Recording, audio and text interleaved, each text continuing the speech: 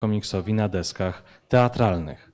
Naszymi gośćmi są Karol Kalinowski. Zaczynamy od lewej. Karol Kalinowski, scenarzysta i rysownik, którego komiks Łauma został zaadaptowany, mm, zaadaptowany na deski teatralne. Tak samo y, jak w przypadku Tomasza Spelkastera Grządzieli, również y, od ubiegłego roku y, dołączył do tego elitarnego grona. Oraz naszym gościem specjalnym jest pan Jerzy Kramarczyk, aktor, który pierwszy w historii polskiego teatru wcielił się, a właściwie wmałpił w rolę Tytusa Dezo w legendarnym już spektaklu Teatru, Roz Teatru Rozmaitości w Warszawie w 1985 roku. Prosimy o brawa. Wydawałoby się, że mm, tradycja adaptowania komiksów na, na przedstawienia sceniczne jest y, stosunkowo nowa i właściwie stanowi taki, stanowi taki eksperyment ostatnich lat. Tymczasem jak przygotowywałem, y, przygotowywałem się do tego panelu, to można stwierdzić, że właściwie na świecie prawdopodobnie pierwszy taki spektakl, komedia muzyczna The Better All, na podstawie serii gazetowej Fragments from France Bruce'a Bernfadera powstał w 1917 roku. Y, Więc tradycja się okazuje niemal równie stara jak w ogóle komiksy y, w Stanach.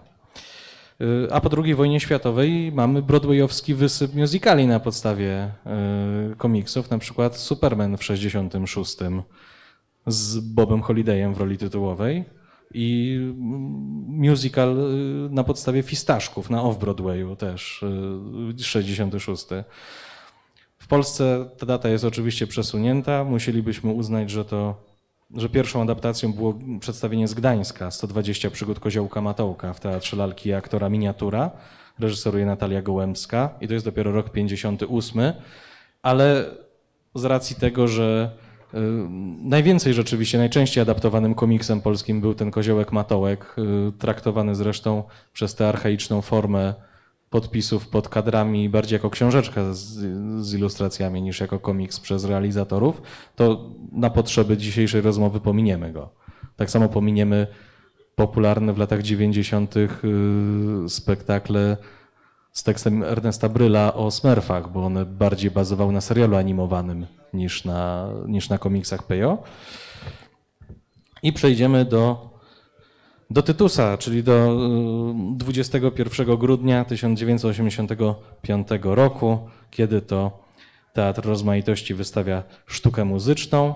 Tutaj na, wy, wyświetla się nam fragment narysowanej niejako z tej okazji księgi Tytusa, Tytus aktorem, gdzie y, okazuje się, że Tytus nie wie, jak się zachować y, w teatrze, nie wie, jak się ubrać i jakie są odpowiednie. W ogóle nie ma przygotowania do bycia widzem teatru, w związku z czym księga poświęcona jest właśnie y, przygotowaniom go do tej nowej dla niej, dla niej roli. Ponieważ y, właśnie w roku 85 w rozmaitościach powstaje według scenariusza Anny Amarylis i Jerzego Boma, a w reżyserii Kazimierza Brusikiewicza. Tytus Romek i Atomek Sztuka Muzyczna, której tutaj mamy zachowany fragment, y, fragment programu, której gwiazdą był bez wątpienia właśnie pan Jerzy i prosilibyśmy pana o podzielenie się kilkoma wspomnieniami. Tutaj w pełnej, w pełnej charakteryzacji. Po, ponoć, te, ponoć te futrzane stroje były dwa do używania w trakcie spektaklu. Spektakl trwał, dzień dobry Państwu, dwie godziny, więc e, była przerwa i trzeba było podejść troszkę sportowo, bo e, i jazda na jednokółkowym rowerku i mm, epizody z piłką nożną, więc rzucanie się na coś, skakanie po gałęziach, bo po mostach specjalnie przygotowanych no, zajmowało na tyle e, moją energię, że w połowie przerwy, jak w meczu piłkarskim musiałem e, biec do, e, na przerwę i trzy panie charakteryzatorki czekały z suszarkami. Jedna pani z garderobą zastępczą, wymiana kostiumu, bach i druga połowa. Trzeba było znowu być w formie. Czasami 3-4 razy spektakle dziennie graliśmy. 313 trzy spektakle w ciągu trzech lat. To taki dobry wynik sportowy. No, no formę musiał mieć pan wtedy olimpijską iście. Nie zastanawiałem się nad tym, akurat byłem po wojsku, w szkole teatralnej, więc y, dla mnie to była rozrywka. Natomiast y, Zresztą zobaczmy, zobaczmy to na własne oczy, bo y, dzięki uprzejmości pana Jerzego dysponujemy nagranymi fragmentami spektaklu. Mam nadzieję, że się bez problemu odtworzy. no, w każdym razie w, w jednej z książek y, y, Babcia Chmiela jestem na najwyższej gałęzi jako pierwsza małpa, co zagrała tę rolę. E, Znaczy pierwszy aktor, co zagrał rolę małpy. To jest akurat już początek, proszę bardzo, piłka nożna. Nie ma dźwięku, bo jest w fatalnym wykonaniu, a Babcio Chmiel nagrał to jakoś tak na prośbę. E, Pan dyrektor Gogolecki nie bardzo się zgodził na rejestrację, to były inne czasy. Także po cichu VHS-em próbowano to sfilmować i tylko tę wersję mam. Mam całościową, także półtorej godziny spektaklu jest na też. Na razie jestem solo, tu oczywiście tekst wchodzi w rachubę, więc e, dlatego się może nużyć, ale potem są sceny zbiorowe, bieganie, skakanie. Także fantastycznie było. Czy jest jakieś uzasadnienie, dlaczego Tytus dostał tę zupełnie niekanoniczną kamizelkę, w której i tak przecież już i tak gorąco panu było w samym futrze, a tu jeszcze dodatkowa No, warstwa? Widać, że jest jakieś kreteczki tam, także to pan scenograf wymyślił i tu nie było odwołania. Więc dlatego tak to jest. Ponoć też, y, jak wspomina sam, sam Chmielewski, który mm, pojawiał się, pojawiał się na próbach i miał wgląd do projektów, to nie podobało mu się, że kostiumy właśnie odbiegają od takich codziennych strojów, jakie widać w komiksach. Czy pamięta pan, jak to wyglądało z, w- właśnie, czy, czy były jakieś uwagi z jego strony po, co do gry, co do y, konstruowania tej postaci? Nie wiem nic o rozmowach gabinetowych, bo to wszystko się działo w gabinecie dyrektora, ale no, trzeba było przyjąć te opcje i myśmy się nie zastanawiali specjalnie nad tym. No, mieliśmy, o proszę, trochę sprawności fizycznej było i piosenki, bo to był muzyczny spektakl. Tutaj dla porządku przypomnijmy, że y, w roli Romka występuje y, Andrzej Ferenc, a Tomka, co ciekawe, gra Stanisława Kowalczyk. Po roku, Żona Czesława Majewskiego. Tego. o, po roku do obsady dołącza Józef Mika, który na zmianę z Ferencem wciela się w Romka.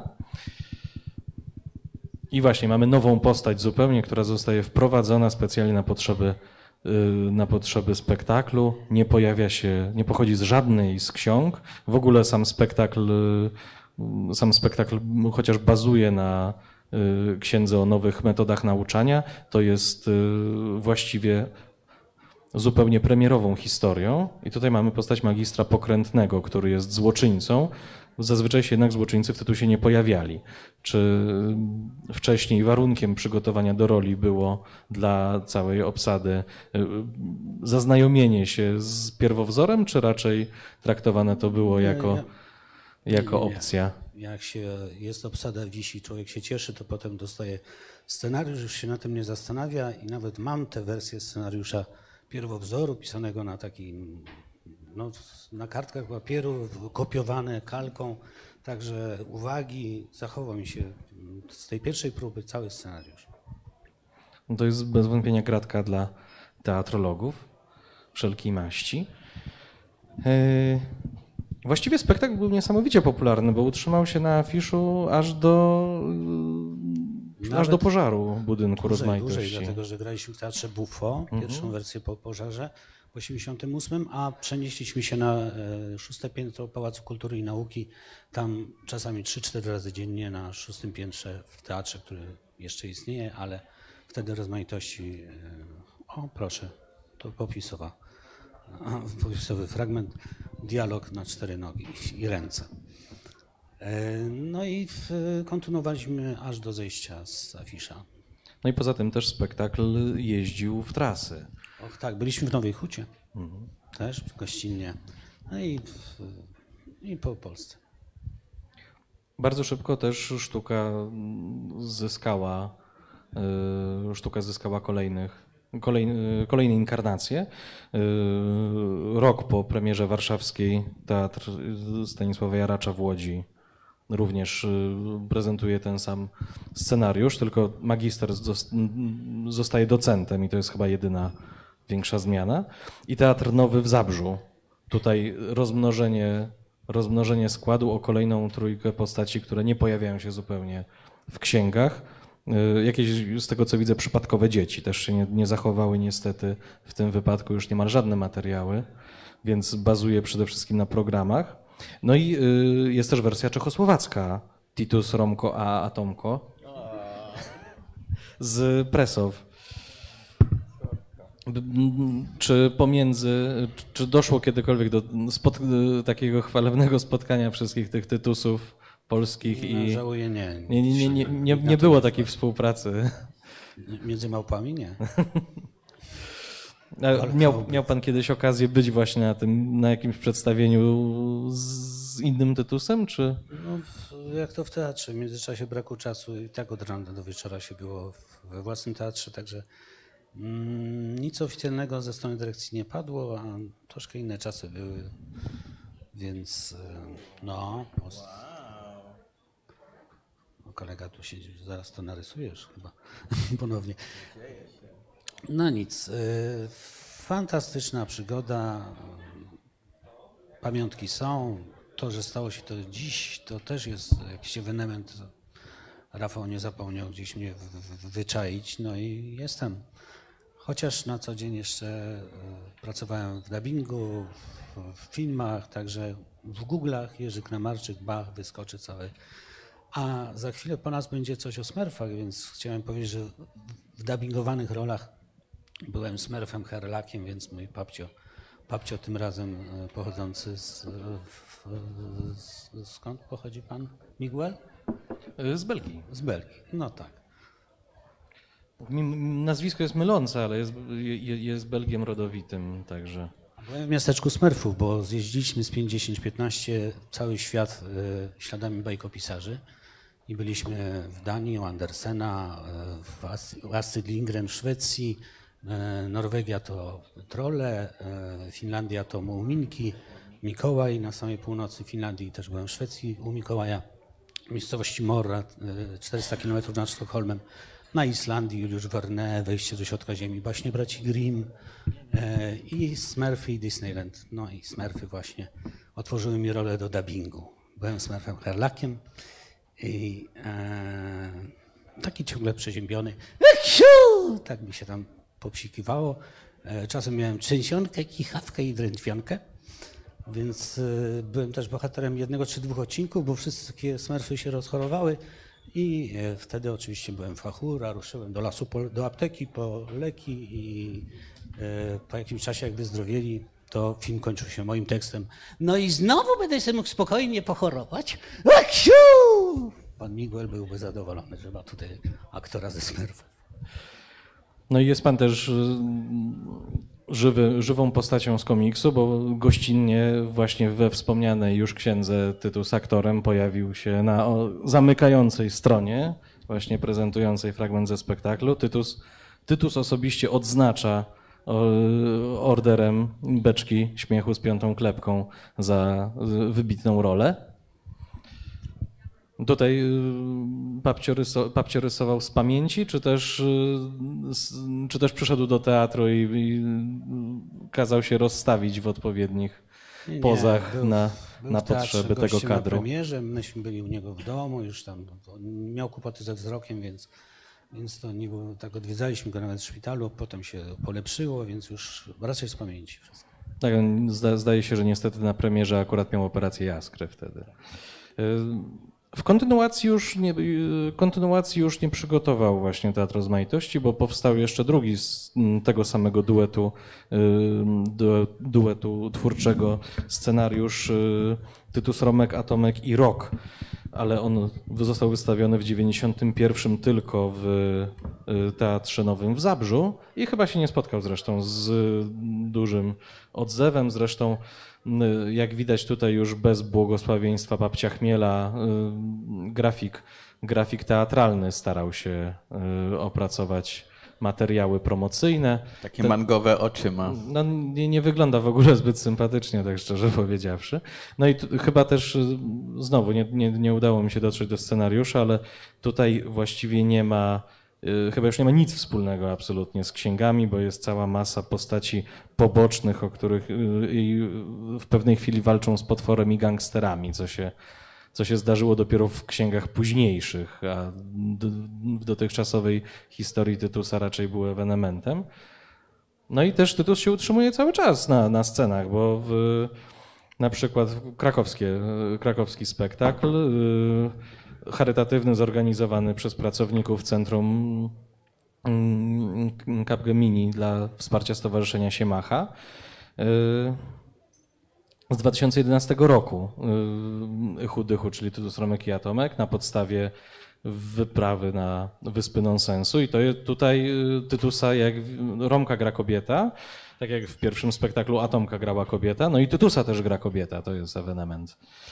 Co, co, co, co pan na to, na tego typu, na te, tego typu zabiegi? Wszystkie chwyty dozwolone, nie ma nic przeciw.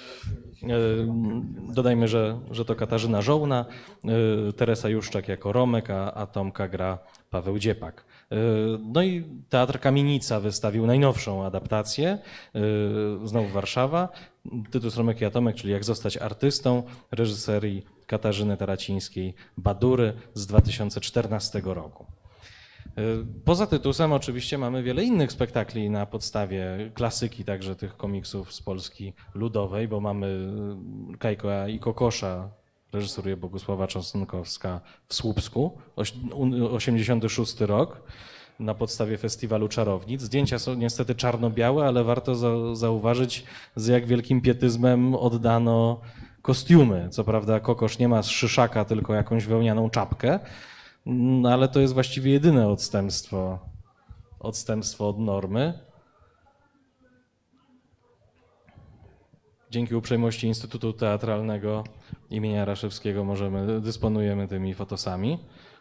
E, aktorów również dobrano według, według klucza charakterystycznego. Kokosz tak schudł trochę. E, za to w następnym spektaklu z 2013 roku, e, przepraszam, 10 z teatru imienia Jaracza w Olsztynie już jest w odpowiednich proporcjach. I tutaj, tutaj jeszcze, jeszcze lepiej to oddano.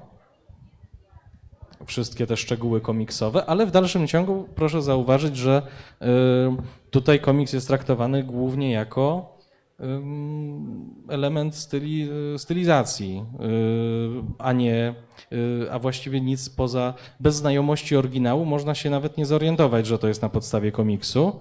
Nie tak jak w Łaumie, bajce zbyt strasznej dla dorosłych, z warszawskiego teatru Studio z 2013 roku. Łauma jest wydana zaledwie 3 lata wcześniej, staje się gigantycznym sukcesem. Y, jak po którym następuje boom na, komiks, na polski komiks dziecięcy i właściwie triumfalny powrót na, na rynek wydawniczy polskiego komiksu dziecięcego. Błyskawicznie pojawia się propozycja filmu. To już wtedy, czy po, ka, przypomnij Karolu, ale weź mikrofon, bo nie, w internecie cię nie będzie słychać. Tak, to ten sam okres mniej więcej. To różnica paru miesięcy, ale wszystko się działo rok po premierze.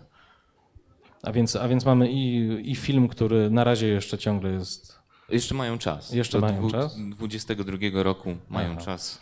Y, I, I od razu spektakl, który wprost odwołuje się do tego, że jest na podstawie komiksu, do tego stopnia, że mam to pierwszy ten przypadek, kiedy mamy użyte, użytych aktorów działających w obrębie kadrów komiksowych. No taki był pomysł reżysera, żeby wykorzystać... Rafała e, Samborskiego. Rafała Samborskiego, żeby wykorzystać projektor e, nie, nie znam takiej prawdziwej fachowej nazwy, rzutnik slajdów, tak to nazwijmy. E, a jako, że pojawił się rzutnik slajdów, to po prostu pojawił się też pomysł, żeby scenografia była po prostu wyświetlana. To niewątpliwie pozwoliło zaoszczędzić troszeczkę, bo, bo wszystko było wyświetlane, ale, ale z drugiej strony no, ten komiks tak dosłownie wszedł na scenę były głosy, że to jest dobre, były głosy, że może niekoniecznie tak wprost, y, no ale to była taka jedna z pierwszych prób y, Więc I po co był nam ten kapitalizm? W No, do- 85 taka scenografia, takie kostiumy, tutaj narzutnik nas stać ledwie. parę folii, trochę tuszu i, i, i wszystko grało. Bardzo. Mm, to była właśnie taka dosyć wprost y, interpretacja. Tam nawet tekst y, był co do słowa.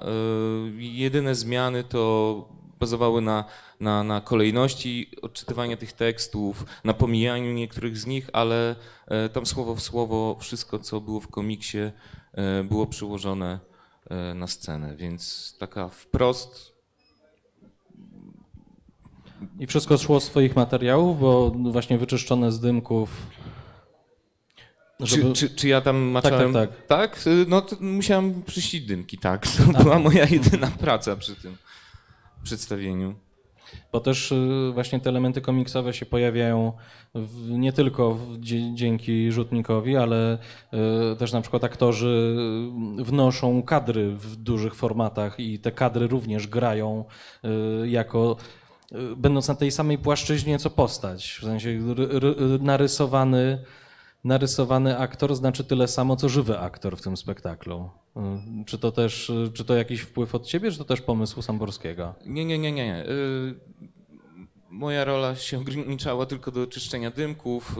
Ja się nie znam na teatrze, a twórcy tego przedstawienia nie znali się na tworzeniu komiksów, więc tak bardzo elegancko podzieliliśmy się rolami. Moja rola polegała na udzieleniu zgody i pomogłem ile mogłem, ale tak samo myślę, czy ty miałeś jakikolwiek wpływ u siebie? Nie. No i to tak ma być. Tak samo miałem, po prostu zgłosili się do mnie, ja powiedziałem ok, róbcie co tam chcecie i ja przyjdę na gotowe. Nie, dziękujemy Tomku, Mieli, mieliśmy jeszcze z kwadrans o tym pogadać. Nie, to ja, ja jeszcze czekam, spoko, czekam. No Karol mnie spytał, to powiedziałem, no. Na, na, tej, na po- podobnej zasadzie, e, co prawda tutaj nie na podstawie polskiego komiksu, tylko francuskiego, e, Ż- Żylamego Bianco, Mglistego Bilego z 2008 roku, przygotował swoją wersję Krakowski Teatr Figur, oczywiście również dzięki e, wykorzystaniu techniki teatru cieni w reżyserii Mateusza Przyłęckiego, e, gdzie bardzo wiernie oddano te wizerunki, wizerunki postaci pro, wyjęte prosto, wprost z komiksu, ograniczając żywego aktora właściwie do minimum. Yy, Zupełnie odwrotnie niż ma to miejsce w spektaklu na podstawie komiksu Tomka Grządzieli, czyli Przygód Stasia i Złej Nogi. Spektakl zatytułowany po prostu Staś i Zła Noga yy, w reżyserii Bartłomieja Błaszczyńskiego. Miał swoją premierę w, w grudniu ubiegłego roku w Teatrze Śląskim imienia y, Stanisława Wyspiańskiego. Y, Jak to wyglądało z twojej strony? Czy mm, też wyszli, y, czy to właśnie reżyser wyszedł do ciebie z inicjatywą y, i zgodziłeś się po prostu na wszystko w ciemno, czy chciałeś, żeby, y, chciałeś mieć większy wgląd w Nie, no to tak, przebieg? dokładnie tak to wyglądało. Napisali do mnie maila, czy jestem zainteresowany takim projektem. Ja powiedziałem jasne i powiedziałem im, macie wolną rękę, róbcie co chcecie, teatr to wasza domena. Ja nie chcę, żebyście mi się wtrącali w komiks, to ja nie będę wam się wtrącał w teatr, bo wy się na tym znacie. No i później jeszcze wysłali mi tylko scenariusz do zatwierdzenia, y, adaptację scenariusz, y, adaptację na podstawie komiksu. E, I, I on i tak się zmienił w czasie prób trochę. E, I go przyklepałem. Miałem tam jedną uwagę tylko i, i tyle. No i przyjechałem na gotowe. Ja- Jaka to była uwaga? Czy to poufne? Wiesz co, tam była. Nie, nie, była, była taka linijka. Yy, yy, była taka linijka, że mama, e, która ostatecznie została zmieniona chyba e, w spektaklu, e, bo jest linijka, że Staś pyta mamy, co to jest depresja. I mama odpowiadał, odpowiadała mu, że, że to. Właśnie ja mam słabą pamięć. E, e, mama Spekta- spektakl z grudnia, proszę państwa. ale, ale, ale ta wersja scenariusza to z- bardzo, bardzo dawna była, sprzed roku ponad. I, I mama odpowiedziała, że coś o, o zarażaniu innych smutkiem. E, I, I nie pamiętam, no dziury w- na banie mam, E, ale nie podobała mi się ta, e, ta kwestia po prostu. I zwróciłem im uwagę, oni, oni grzecznie po, o, o, powiedzieli, że okej, I ale to zostawili. No ale koniec końców zmieni, zmieniła się, teraz jest y, y, i- inaczej. Tak. Te, teraz kwestia w, y, w spektaklu jest, że Staś pyta mamę, co to jest depresja, a mama odpowiada, że nawet, y, że depresja to jest, że nawet jak, y, jak się uśmiechasz, to jest ci smutno. W komiksie ta niepełnosprawność Stasia, właśnie ta jego tytułowa zła noga jest y, w tej formie metaforycznej podana jako, jako kończyna, która niejako żyje swoim życiem i zmienia, zmienia kształty, ale wciąż pozostaje kończyną. Tymczasem w spektaklu mamy y, osobno Stasia, y, granego przez Dawida Kobiele, a osobno złą nogę, graną przez Michała Rolnickiego. Tutaj tutaj ob, obaj, obaj bohaterowie razem.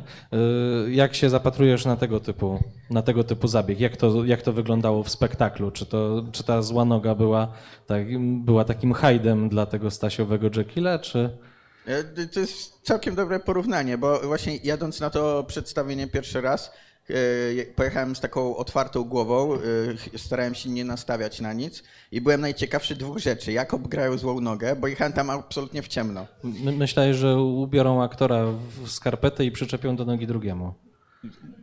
Myślałem, wiesz co, bo oni też współpracowali, jeden aktor był z Teatru Lalek i myślałem, że może zrobią coś z lalką.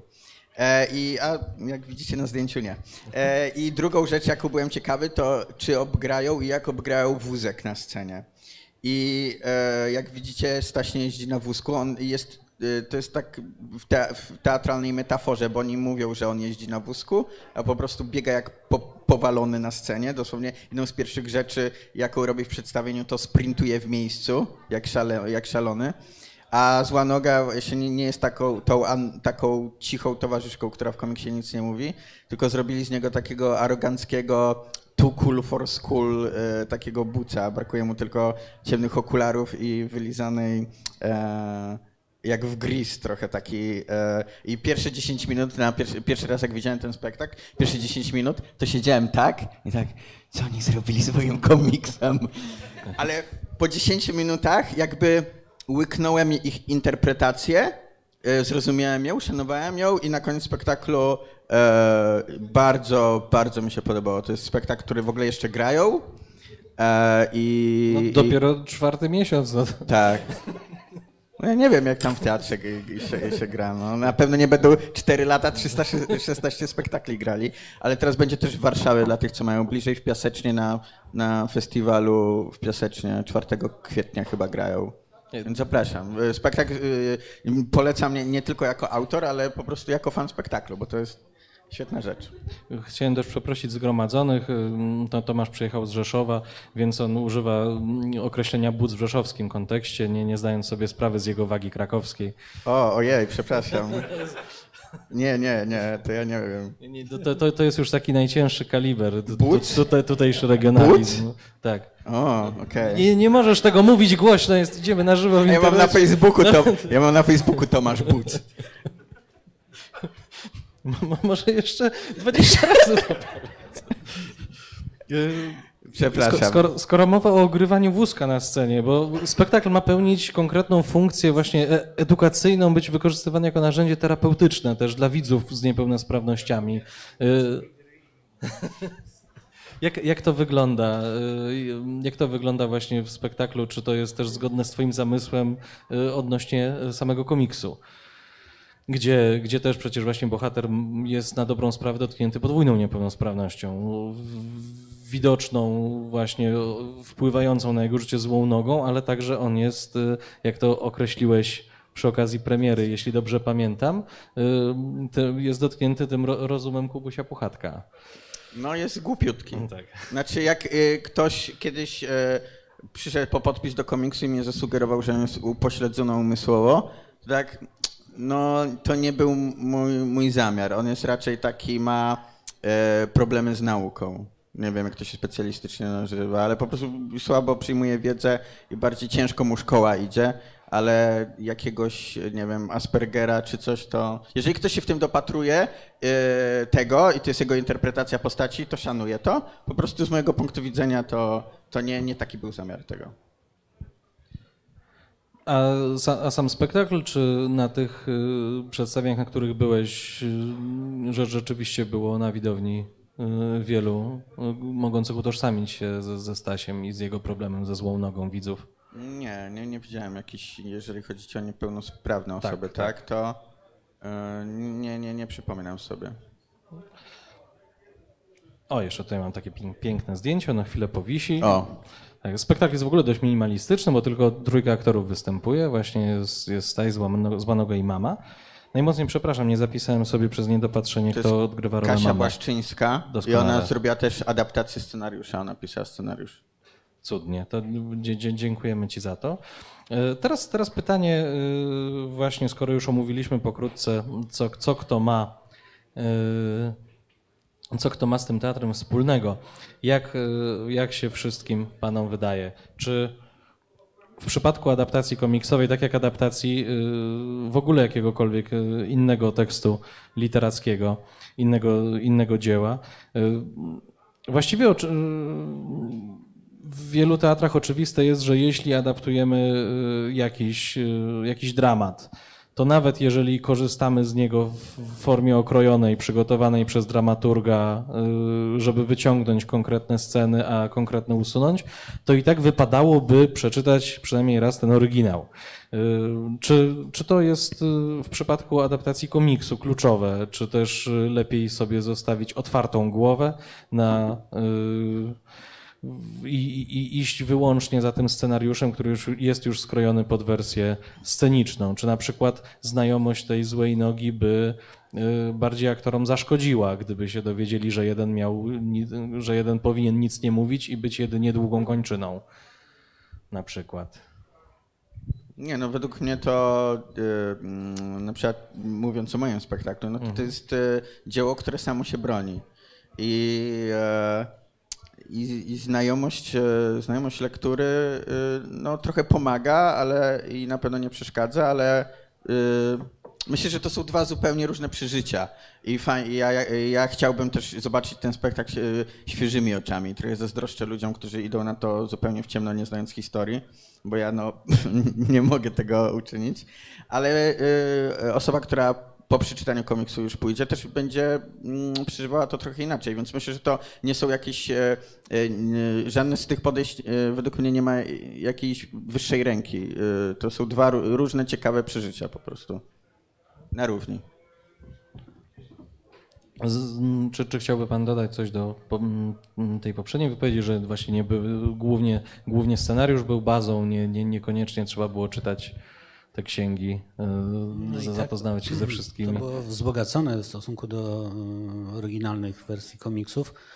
Mało tego, że było skompilowane, z, no był, był materiał, 31 książeczek, plus jeszcze, jeszcze inne rzeczy. Mm, także wszystko grało na tak. A ja szczególnie nie, nie obawiałem się odpowiedzialności zmieniania czegokolwiek. Pamiętam taki był epizod z bananem, były czasy troszkę inne niż teraz. I strasznie drażniło dyrekcję, że ten banan się otwiera przy dzieciach, a to może ślinka im tam cieknąć, teraz na rok rzucają banany. No to ja się zaciąłem jako aktor i skombinowałem sobie na premierę banana na rzepy. Nie był oryginalny, więc miałem wytłumaczenie, a to jeszcze bardziej pobudzało kubki smakowe. No tak czy inaczej, jako małpa nie byłem za nic odpowiedzialny. To, to niemal, niemal jak na planie Janosika, gdy zamawiali do każdego odcinka duże ilości mięsa, żeby mieć pretekst potem do wyniesienia. To, to, to, tak na boku. Bo to też oczywiście zupełnie różna skala. Tutaj mamy komiks jednak, komiks jednak dość, dość ofowy, jeśli idzie o porównanie z nakładami y, babcia Chmiela. W ogóle też no, tutaj mamy adaptację po kilkudziesięciu latach y, właściwie nie, nie, nie, nieprzerwanego pasma sukcesów. Coś, co znają wszystkie dzieci w Polsce i dorośli, którzy się na tym wychowali. No a tutaj y, jednak dość świeżą historię. W jednym i drugim wypadku to bardzo niewielki, bardzo krótki czas od premiery do realizacji. U Karola 3 lata, u Tomka od książeczkowej to półtora roku? Dwa? Z dwa. Z dwa. Y, Trochę dłużej od internetu, ale też, też niewiele. Więc jeszcze nie zdążyło obrosnąć kultem, a więc jak, jak sądzę, też, te, y, też ta odpowiedzialność jest zupełnie inna i te oczekiwania. Jakie jest wasze zdanie? No ja wiem, że no, mój, mój tu komiksik jest najmniejszy, bo wiem, że ile do druków miała Łauma. Trzy. No, a pierwszy nakład się wciąż nie sprzedał Stasia, więc wiesz, jak szedłem na przykład na przedstawienie, Cztery. Trzeba nie było w internecie puszczać całego, to by się może sprzedał. ale, ale ty, Ka- Karol je pierwszy rozdział puścił i zadziałało. ale to też, e, no, może, może być w tym dużo racji, no, ale to też, e, ale wiesz co, zdziwiłem się, bo e, ko, e, przychodzili do mnie ludzie, głównie, którzy okazuje się, że to są dwie różne publiczności w, w, du- w, du- w dużej mierze, że przychodzą ludzie, którzy nawet nie mieli pojęcia, że to jest w internecie i dalej na przykład nie wiedzą po przeczytaniu książki. I na, na spektakl też przyszły mm, osoby, które y, w większości nie, nie znały komiksu, no. Po prostu. Więc to był taki jakby nowe, nie tyle co nowe medium, ale nowa zupełnie publiczność. A, a powiedz Tomku, czy, czy wydawca wpadł na pomysł, żeby w teatrze przed przedstawieniem wystawić stoliki i sprzedawać komiksy? Oni sprzedawali, tam e, sprzedawali komiksy. O, to widzisz, o, mnie nikt nie wpadł na coś Nie, takiego. ale to jest też, wiesz No, co, no to, u ciebie chyba to był akurat okres pomiędzy jednym a drugim do drukiem, więc... A teraz cały czas Łałuma jest w teatrze, w teatrze w Wałbrzychu, O właśnie, tak, o tym nie wspomnieliśmy, że to jest już kolejna adaptacja. przez zupełnie inny zespół, inne miasto, inny teatr i, i, I tam też inne już rozwiązania. inne rozwiązanie zupełnie. Już Ale- tam jest scenografia. Ale wiesz co, tam e, Teatr Śląski jest bardzo ogarnięty, bardzo mi się podobała współpraca z nimi i to była ich pierwsza adaptacja komiksowa, ale nie pierwszy raz adaptowali coś i zawsze mi mówili, że jak zawsze adaptują jakiego, jakąś książkę na przykład, to tam przed przedstawieniem sprzedają te egzemplarze, więc to dla nich nie pierwszyzna. To- to Ja coś źle zrobiłem. Polecam Teatr Śląski jako współpracę po prostu. To Trzeba było jednak tak do mniejszych ośrodków, a nie ta Warszawa i Warszawa ciągle. Nie. Jaka jest rola, z waszym zdaniem rola autora w, w momencie, gdy powstaje, powstaje spektakl? Y, Tomek, gdyby był na przykład dopuszczony do, na, na, na próby i zobaczył, jak to wygląda, no to najpewniej by się nie, nie, nie zgodził i wy- wyszedł trzaskając drzwiami na to, że zła noga jest ogrywana osobno przez aktora. No, dlatego nie chciałem mieć w ogóle żadnego udziału w tym i zwłaszcza to jest ciekawa historia powstawania tego spektaklu, bo e, on, e, on był zmieniany na parę godzin przed premierą jeszcze i ponoć e, do tam chyba e, e, trzeciego przedstawienia generalnego to się jeszcze nie kleiło i widowni się nie podobało i oni strasznie się męczyli aktorzy. I w ogóle mm, Michał Rolnicki, który gra złą nogę, jest bardzo rozchwytywanym teraz aktorem.